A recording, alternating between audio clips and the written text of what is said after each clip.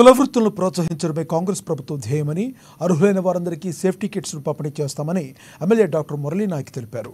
మహబూబాబాద్ జిల్లా కేంద్రంలోని MLA camp కార్యాలయంలో నూట నాలుగు మంది గీత కార్మికులకు పన్నెండు లక్షల నలభై ఎనిమిది వేల విలువ చేసే సేఫ్టీ కిట్స్ను ఎమ్మెల్యే పంపిణీ చేశారు. గత బీఆర్ఎస్ ప్రభుత్వం అరాకొరగా గొర్రెలు గేదెలు పంపిణీ చేసి కుల వృత్తులను పట్టించుకోలేదని ఆయన విమర్శించారు. తాటి ఈత చెట్లు ఎక్కే క్రమంలో గీత కార్మికులు ప్రమాదాల బారిన పడకుండా ఉండేందుకు ఈ సేఫ్టీ కిట్లు పంపిణీ చేస్తున్నామని తెలిపారు. ఆరు పరికరాలతో కూడిన తాడు క్లిప్లు హ్యాండిల్స్ స్లింగ్ బ్యాగ్ లెగ్ లూప్లతో పన్నెండు వేల రూపాయల విలువ గల కాటమయ్య కిట్లు గీత కార్మికులు సద్వినియోగం చేసుకుని ప్రమాదాలను నివారించుకోవాలని సూచించారు. మీకు అధికారికంగా ప్రభుత్వం నుంచి కాటమయ్య కిట్లు అందించాలని చెప్పేసి గత ప్రభుత్వం కూడా మీరు పెట్టుకున్నా కూడా వాళ్ళు మిమ్మల్ని పట్టించుకోలేదు ఆ ఊసే లేదు.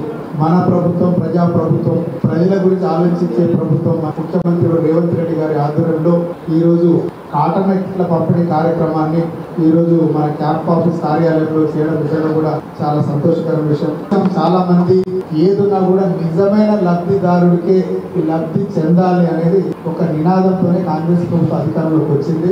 ఏ సంక్షేమ కార్యక్రమం అయినా కూడా ప్రతి గ్రామాల్లో నిజమైన లబ్ధిదారులు ఎవరున్నారు వాళ్ళకి ఇస్తే ఎవరికి ఇబ్బందులు కూడా ఉండదు. అదేవిధంగా మనకు ఉన్నటువంటి సూపరింటెండెంట్ గారు కిరణ్ గారు చాలా స్పష్టంగా చెప్పడం జరిగింది. గీతా కార్మికులు రోజు తాడి చెట్టు ఎక్కే వాళ్ళు ఎవరైతే ఉన్నారో వాళ్ళకే ఇది ఉపయోగం ఉంటుంది. ఇప్పుడు నేను రెండు కిట్లు తీసుకొని నేను పెట్టుకుంటే దానికి ఏమైంది? చివరి తీసుకెళ్ళి ఎక్కడో ఇల్లు ఎక్కడో పడేస్తా పనికి రాకుండా పోయింది.